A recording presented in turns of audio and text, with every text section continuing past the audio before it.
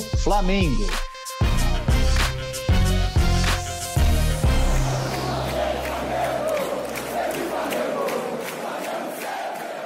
Patrocínio Brahma. Bramosidade, cremosidade que só a Brahma tem. E lubrificantes móvel. Se tem movimento, tem móvel.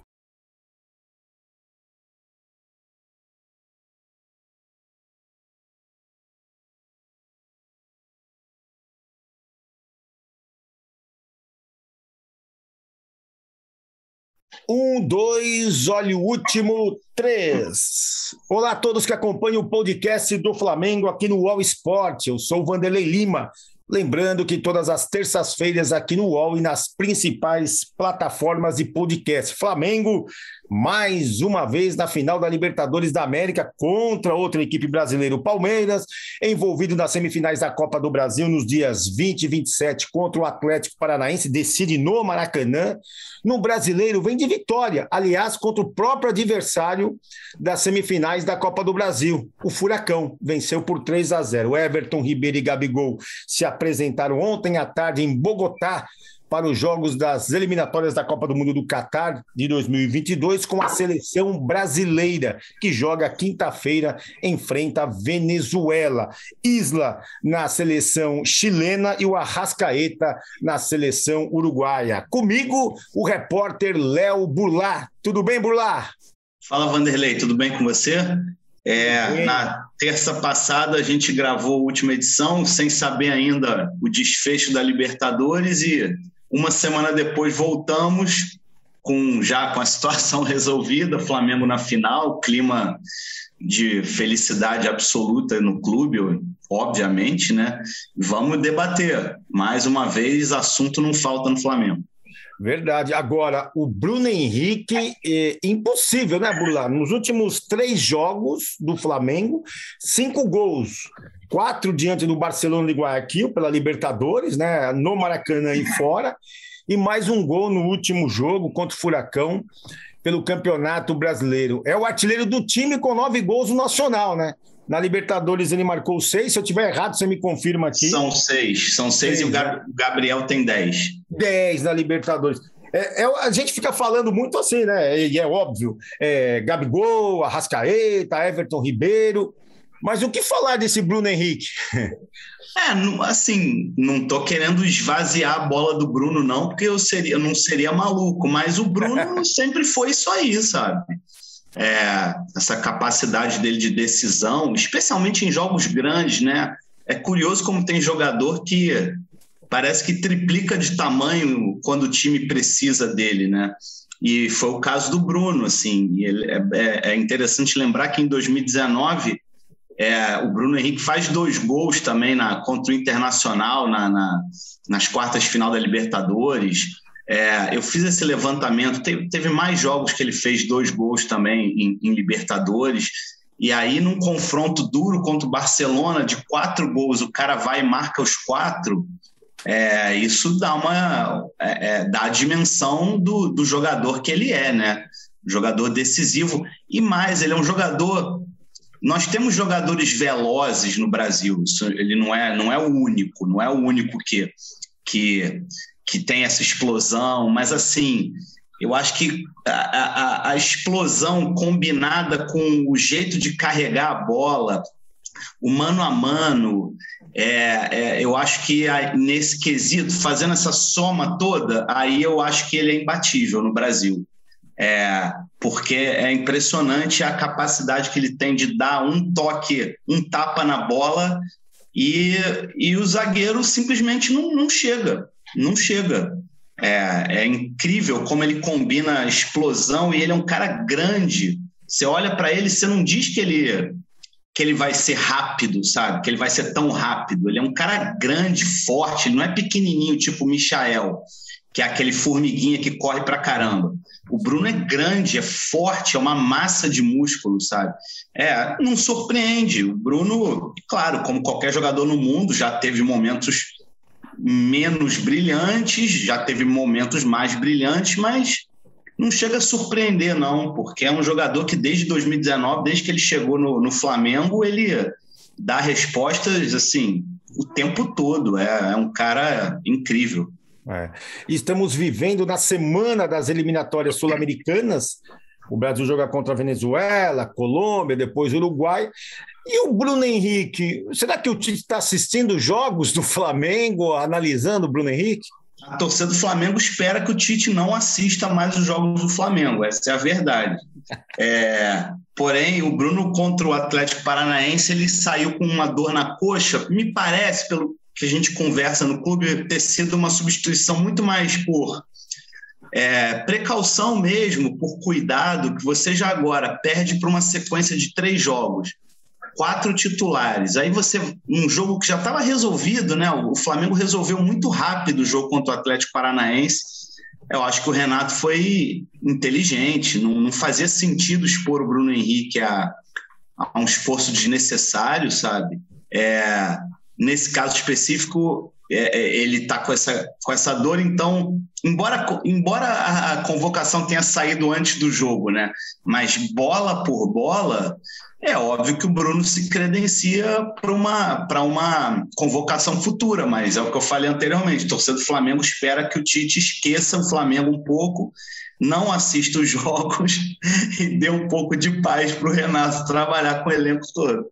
É, são tantas informações. Ele já foi é, convocado pelo Tite, já. Bruno Henrique? Já, né? Salvo, salvo engano, já, Vanderlei. Que ele é. já foi convocado. Não, foi sim, foi sim, foi sim. Foi sim, foi, com certeza, com toda certeza. Mas não nas foi últimas sim. convocações. Não, assim. não, não. Esse, essa temporada ele não foi convocado.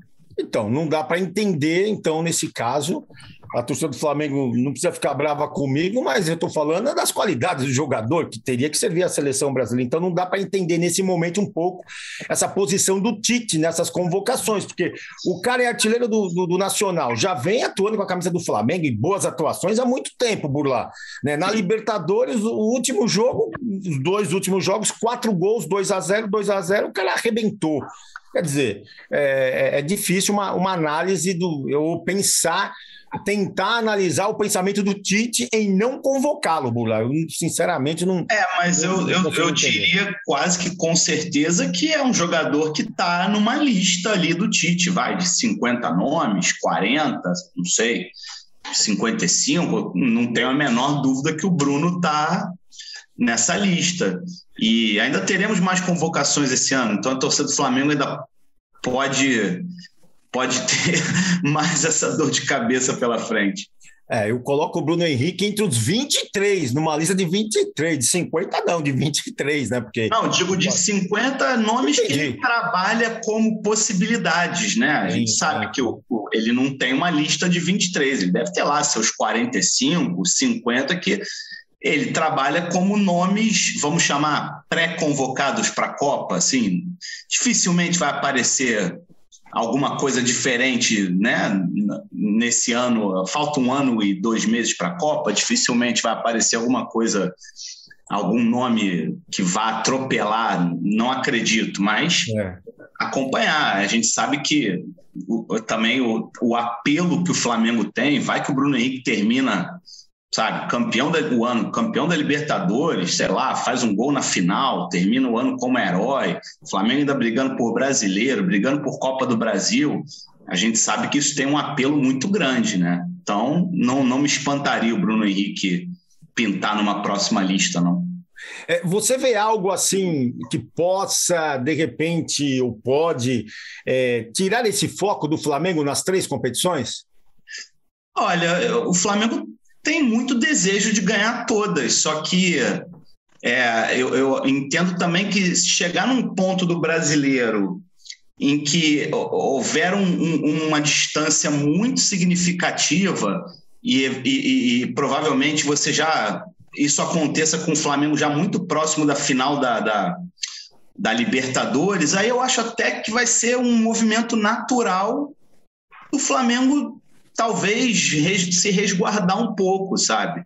Mas no cenário atual, de momento, não vejo o Flamengo tirando o pé do, do brasileiro em hipótese alguma, alguma.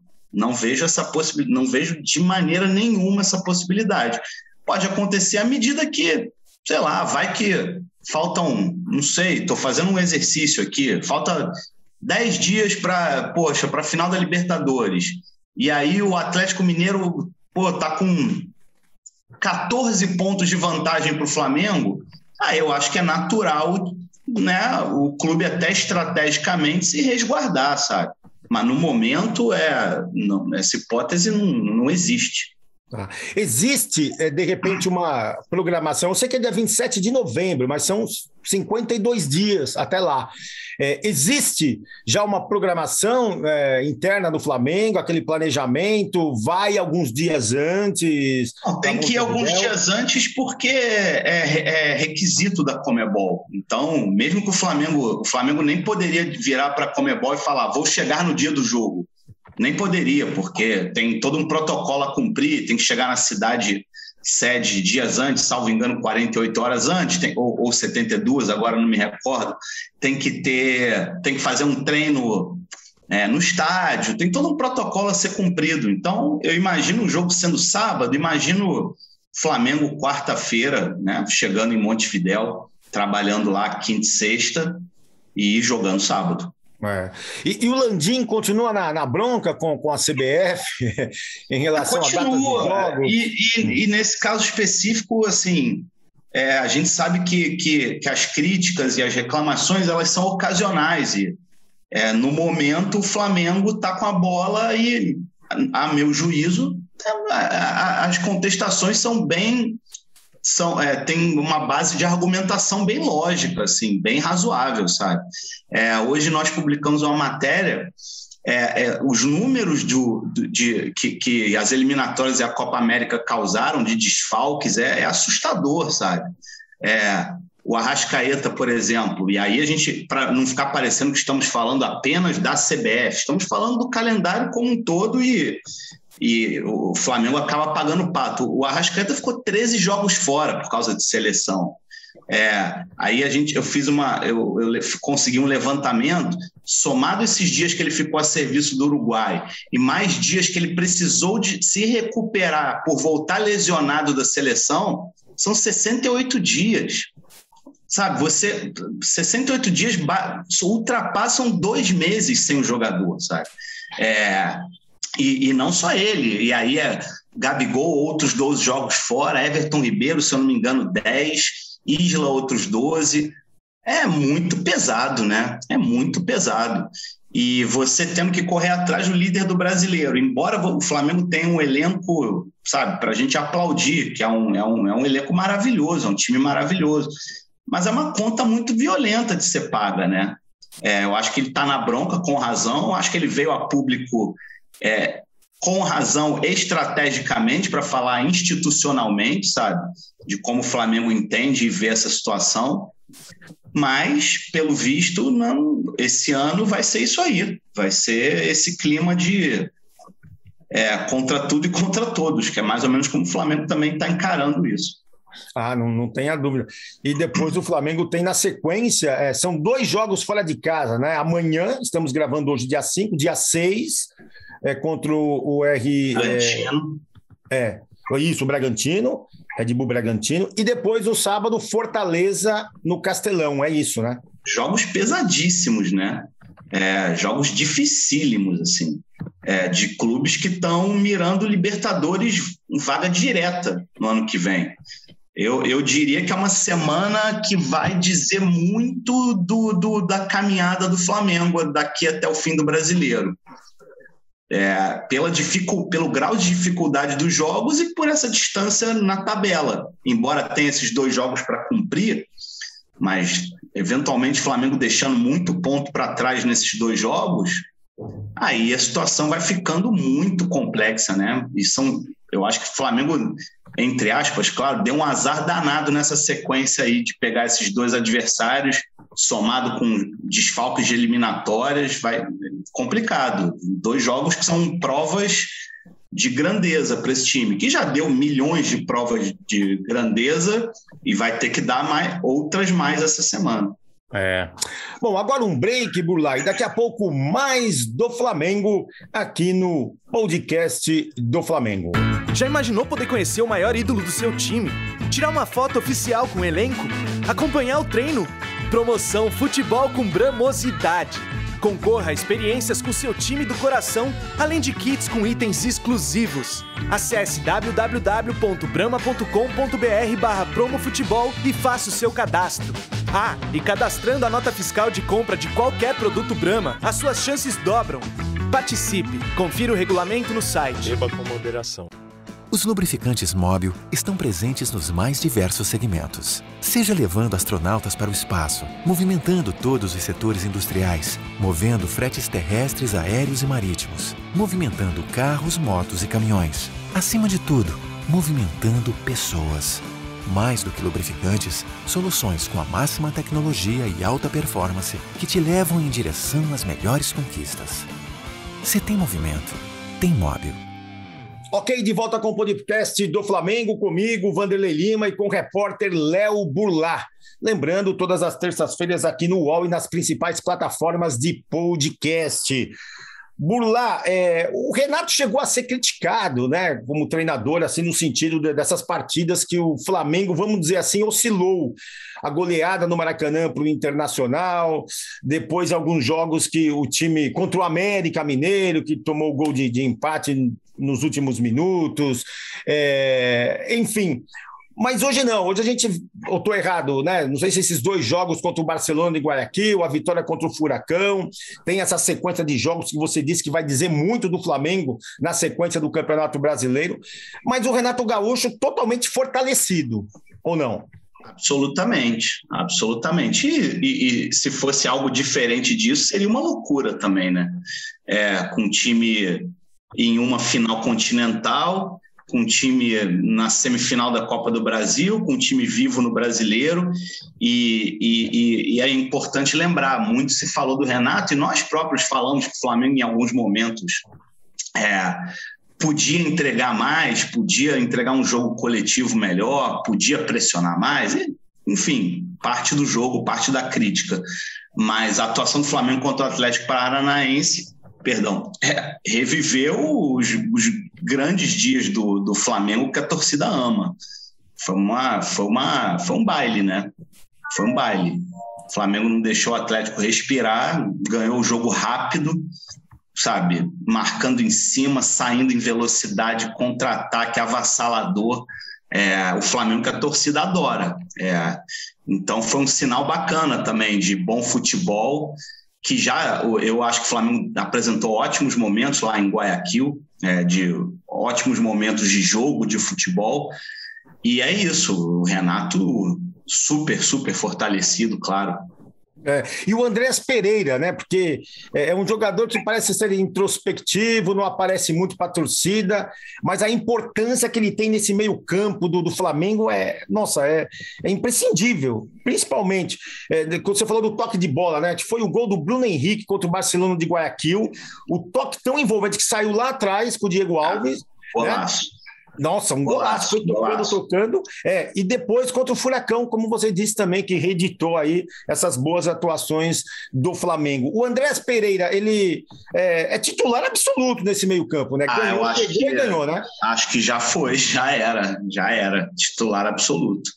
É, e muito se falou no, no, na, na, chegada dele. Eu próprio fiquei, eu achei que ele era um cara que podia é, ele foi colocado ali na do Diego, mais ou menos, né? como segundo homem. Eu me, me parecia que ele renderia mais dando uns passinhos para frente, né? sendo um cara com trafegando um pouco mais entre linhas ali, um pouco mais próximo da área. Só que a verdade é que ele também faz isso. É, mesmo jogando ali é, na, mais na cabeça da área, como um segundo homem, ele está o tempo inteiro próximo do gol adversário. É, é só você ver a jogada que resulta no gol dele, ele dispara do lado esquerdo como um ponta, como um atacante. O Arrascaeta vem conduzindo, o Gabigol abre do lado direito, o, o Andréas abre do lado esquerdo. É, olha, eu acho que o Flamengo nessa aí foi um tiro de mercado assim daqueles Sabe aquele que a gente brincava quando era criança no, no, no parquinho, que você acerta com a arminha de pressão, aquela bola de meia no patinho para ganhar o, o ursinho de pelúcia? O Flamengo acertou ali, ó, no alvo certo, porque você perde um cara do tamanho do Gerson, que é um craque. é, e, e, e, vai na Inglaterra e traz um Andrés Pereira com quilometragem gigante de, de Premier League e dentre outras ligas grandes, é, é, é, bonito de ver como ele faz a bola andar, sabe? É, o Gerson era um pouco mais aquela coisa, mais um pouco mais. Não, não, é uma crítica, não, pelo amor de Deus, que eu sou um fã absoluto do Gerson, mas o Gerson era cadenciava mais, escondia mais a bola, prendia mais. O Andréas, ele dá velocidade para o jogo, para o time, que, que, que, favorece demais o estilo de, de jogo desse Flamengo, sabe? De velocidade, de, de, de ser fatal. Ele é mais um cara na construção. É, ele já não é o primeiro jogo que ele faz de partidaço, não. Contra o Barcelona ele já tinha feito partidaço. É, eu acho que o Flamengo nessa aí foi na mosca, assim, na mosca mesmo. É onde a gente pode colocar o Flamengo, talvez, é, ou com certeza, não sei qual o percentual aí, mas casado literalmente, né? Torcida com time, é, técnico com, com jogadores, jogadores com treinador. É, é, um casamento perfeito hoje, né? A gente pode pegar o Flamengo, a gente vê o Palmeiras, por exemplo, aí, não é um casamento perfeito né? em termos de torcida, treinador, é, elenco, mas o Flamengo não. O Flamengo a gente percebe que é um time já casado, totalmente casado, inseparável, vamos dizer assim. Ou estou é, errado, Bular? Tá certo. Esse time, assim, a verdade é que a torcida ama esse time, sabe? É uma relação muito bacana mesmo, de, de admiração e de gratidão, né? É, a torcida sabe reconhecer que foram esses caras aí que recolocaram o Flamengo num, num, lugar que ele tinha, de certa forma, perdido. Né? O Flamengo fazia campanhas boas aqui e ali, mas muito espaçado. Né?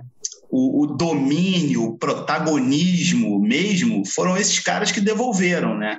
Sabe? Dois títulos brasileiros, uma Libertadores, enfim, um montão de títulos aí, se contar com Carioca, Supercopa, Recopa, sabe? Um montão de títulos.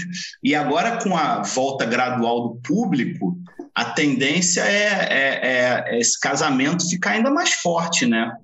É, torcida morrendo de saudade do Maracanã, morrendo de saudade do time. É, obviamente, uma final de Libertadores é, causa uma euforia, uma alegria no torcedor, sabe? No, o ambiente fica, fica é, é, claro, fica mais leve, mais alegre.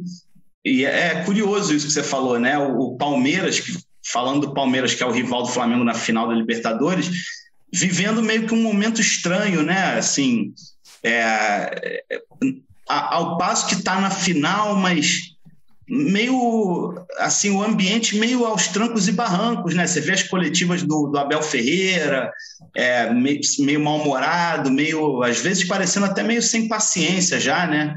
É, e, o time muito contestado, empata contra o Juventude em casa e, e o Flamengo muito solto, muito não sei, parece que curtindo o momento mesmo, sabe? Surfando a onda boa, aproveitando o momento legal, assim realmente ó, é, é, curioso até, né?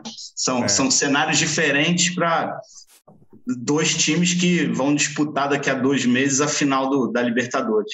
Não, e que pode mudar, é claro. Dois meses é, uma, é um mundo. Né? Pode, pode acontecer um montão de coisa.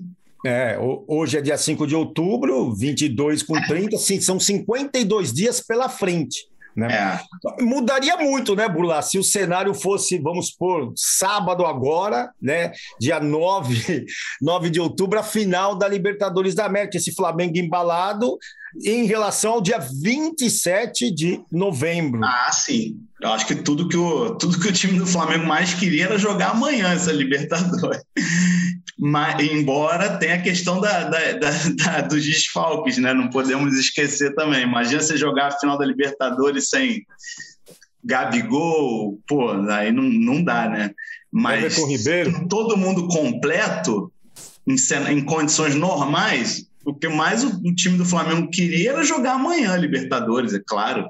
Time mobilizado, astral lá no alto, vindo de vitória, sabe? É óbvio, é claro. É, então dá para a gente também é, traçar assim, né? Bom para o Palmeiras, então, né? E não tão bom para o Flamengo. É, mas a, ah, vamos ver também daqui a dois meses. Pode ser pior para o Palmeiras também, vai saber, né? Hoje, hoje é bom, mas pode ser que daqui a pouco seja pior, não sei. É, é, agora projetando principalmente o jogo contra o Fortaleza no próximo sábado, né? Uma vez que o Flamengo joga amanhã, dia 6, é, os dois jogos fora de casa, Red Bull e no sábado contra o Fortaleza, é, sem esses jogadores principais do time titulares: o Everton Ribeiro, o Gabigol, o Isla. É, é, o Arrascaeta nesse meio campo.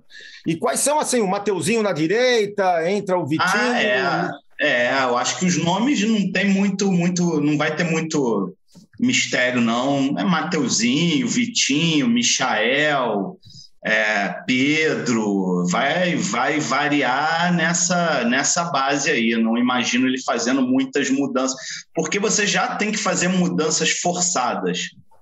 E o Renato não é, não é muito do improviso, assim. Não é, não, ele não gosta. Não é daquele cara de ficar tirando o coelho da cartola. Ele, ele procura fazer o simples. É, então, não imagino nada muito diferente disso. Pedro no Gabigol, é, Vitinho no, no, no, no Arrascaeta. Mas ainda assim, né? É, uma, é muito difícil, cara. É muito difícil. É. Você substituir numa tacada só Everton Ribeiro, Arrascaeta e Gabigol é, sabe, é tarefa das mais complicadas, né? Sim, mas mostra que o, Flamengo tem elenco. Isso, para quem né, almeja, tem os objetivos aí de Libertadores, Mundial de Clubes, é, é, sensacional, né? Qual treinador não queria estar na situação do, do Renato Gaúcho, né, Burlar? Não, sem dúvida, sem dúvida. Tem elenco, mas ainda assim é muito pesado. Sabe? Você perder um por contusão, outro por cartão amarelo, beleza, sabe? Tá no pacote, tá no pacote. Mas, sabe, você perder quatro titulares pô, por três rodadas é, é duro, é muito duro.